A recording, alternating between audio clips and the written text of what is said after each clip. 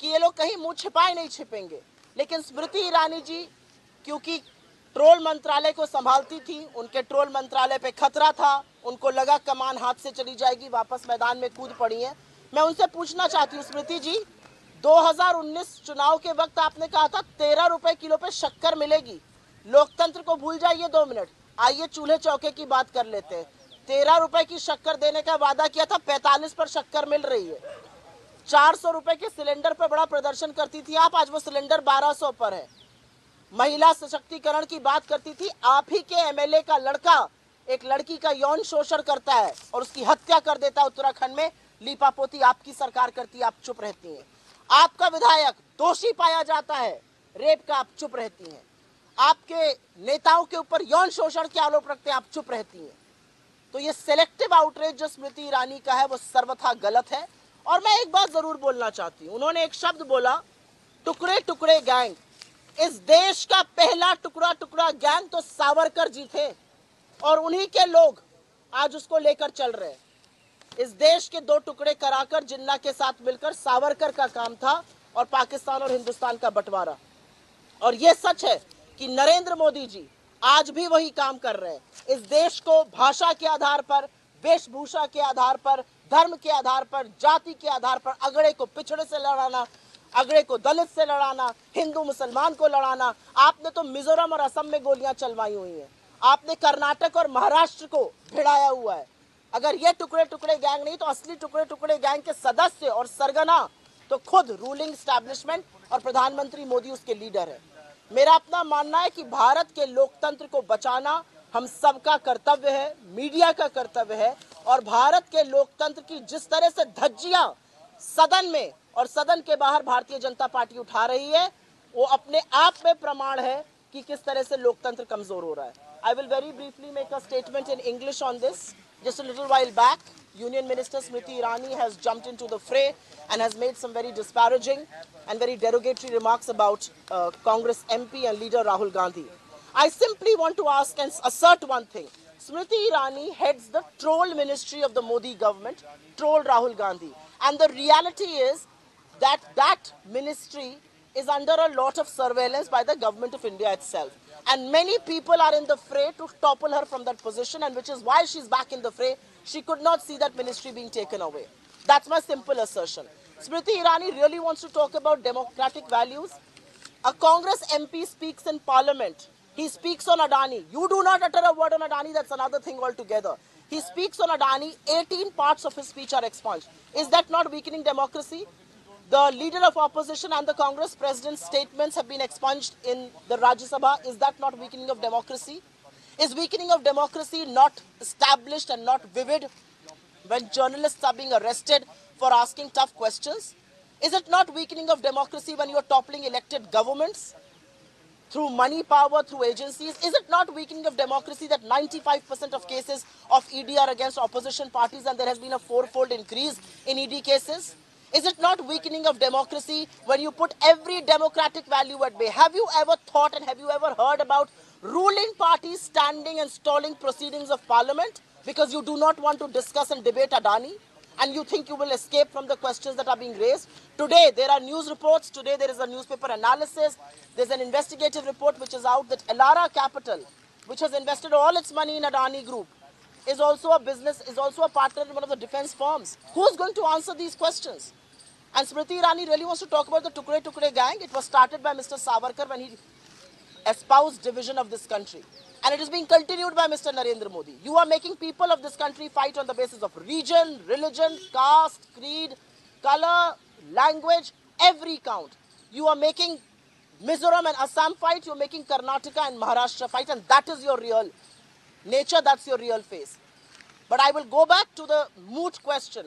Why is the ruling establishment scared of the questions? And if you think that Rahul Gandhi has said anything wrong, let's come and debate in parliament. लेकिन शर्त सिर्फ़ एक होगी कि जब वो महँगाई की बात करेंगे आप लहसुन प्याज नहीं खाती हूँ कह बचेंगे नहीं जब वो बेरोजगारी की बात करेंगे तो आप पकौड़ा तलने की सलाह नहीं देंगे जब वो चीन की बात करेंगे तो कोई घुसा हुआ नहीं कहकर आप भागेंगे नहीं और जब वो अडानी पे बात करेंगे तो आप कांपती हाथों से पानी नहीं पिएँगे मेरा अपना मानना है कि जिन लोगों का भारतीय जनता पार्टी में वजूद ही राहुल गांधी जी को ट्रोल करने से है, वो ये काम करते रहेंगे, क्योंकि उनका अस्तित्व ही ये है। और बीजेपी में एक होड़ लगी हुई है। जब भी राहुल गांधी जी कोई वक्तव्य देते हैं, कोई बात कहते हैं, कोई चर्चा का मुद्दा उठाते हैं, जो जनहित का मुद्दा है, लोगों का मुद्दा है, हर बार भारतीय जनता पार्टी के छह, सात, आठ लोग कूद पड़ते हैं डेरोगेटरी रिमार्क्स के साथ, आधा सच पूरे झूठ के साथ, और यही काम आज मंत्री स्मृति ईरानी ने और तमामों मंत्री कर रहे हैं। मुझे ऐसा लगता है भारत के सदन में जवाबदेही है सरकार की, और जिस जवाबदेही से आप भाग रहे उतना ही आपके पीछे सवाल छोड़े जाएँगे। अडानी से आपका क्या रिश्ता है, और अडानी पर आप चुप क्यों हैं? ये सवाल का जवाब तो आपको अंततो गतवा देना पड़ेगा, और आप सुप्रीम कोर्ट की कमेटी के पीछे नहीं छुप सकते हैं, क्योंकि सुप्रीम कोर्ट की committee review of regulatory framework पे है। वो ये नहीं पता करेगी कि क्या बयासी गुना स्टॉक कैसे बढ़े। बेनामी संपत्ति, बेनामी पैसा लाने का जो आक्षेप लगा है वो कैसे आ रहा है? इलारा कैपिटल डिफेंस के एक फर्म में पार्टनर कैसे है? सेबी का क्या प्रोब हो रहा है? DRI director of revenue intelligence इस पे क्या कर रहा है? कहाँ है आपकी ईडी आपकी सीबीआई आपका एसएफआईओ आपका एमसीए आपका डीआरआई आपका आईआरडीए कहाँ है ये सब संस्थाएँ जो अभी तक लग जानी चाहिए थी अडानी के पीछे? तो मेरा सिर्फ़ अपना मानना यह है कि लोकतांत्रिक मूल्यों का हनन करना इस सरकार का चाल चरित्र और चेहरा बन चुका है और वही करती हुई आज स्मृति ईरानी दोबारा से नज़र आई धन्यवाद। प्रधानमंत्री से नफरत करते करते राहुल गांधी देश से नफरत करने लगे हैं और जिन लोगों ने देश के ऊपर राज किया, उनके आज साथ खड़े उन ताकतों के साथ राहुल गांधी खड़े दिखाई दे रहे हैं राहुल गांधी जी एक ऐसे परिवार, ऐसी परंपरा और एक ऐसी पार्टी से आते हैं जिन्होंने इस देश की आज़ादी के लिए कुर्बानी दी है, जिन्होंने इस देश को एकजुट रखने के लिए अपनी जान की शहादत दी है। तो हमें राष्ट्रवाद का पाठ, बीजेपी के दो रुपए के ट्रोल बन गए मंत्री तो बिल्कुल ना पढ़ाए और वो लोग तो बिल्कुल ना पढ़ाए जो ट्रोल मंत्रालय के सदस्य और ट्रोल मंत्रालय के मंत्री रहने के लिए होड़ में लगे पड़े पहली बात। और दूसरी बात विदेशी धरती पर यह कहना कि हिंदुस्तान के लोगों ने क्या पाप किया था कि वो हिंदुस्तान में पैदा हुए हैं? ये हिंदुस्तान का सिर नीचा करता है या ये कहना कि हिंदुस्तान का लोकतंत्र विश्व के लिए सौगात है? Indian democracy is a public good and the fate of our democracy is going to decide democracy on this planet ये बड़ी बात है।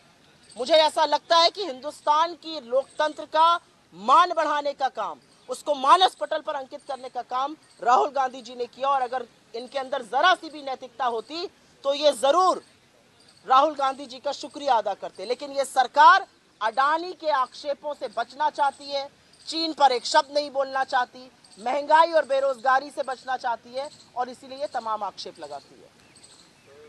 जी आज ईडी के दफ्तर की तरफ़ मार्च कर रहे हैं। टीएमसी भी इसी मसले पर बीच बीच में प्रोटेस्ट करते लेकिन आज साथ में नहीं है कैसे देख रही है? भारतीय जनता पार्टी जिस तरह से एजेंसियों को इस्तेमाल कर रही है, जिस तरह से एजेंसियों का दुरुपयोग कर रही है, जिस तरह से ये एजेंसियाँ कठपुतली बन के भारतीय जनता पार्टी के फ्रंटल बन चुकी हैं, अगर आज हम इसके खिलाफ आवाज़ उठाकर एकजुट नहीं है तो कहीं ना कहीं सवाल आप पर भी उठेंगे। और इसलिए उठेंगे क्योंकि ऐसा क्यों है, जिस ईडी के खिलाफ मार्च हो रहा है, ऐसा क्यों है कि ईडी के केसेस में चौगुना बढ़ोतरी हुई 2014 के बाद? ऐसा क्यों है कि पंचानबे प्रतिशत केसेस ऑपोजिशन के खिलाफ है। ऐसा क्यों है कि नौ साल से आप ईडी का झुंझुना बजा रहे हैं, लेकिन आप एक भी केस प्रूव नहीं कर पाए ऐसा क्यों है कि अगर हम खड़े होकर ईडी का और सीबीआई का निरंकुशता का विरोध कर रहे हैं तो कुछ पार्टियाँ अगर उससे बच रही हैं तो आपकी भी मंशा पर, आपकी रोल पर ज़रूर सवाल उठेगा।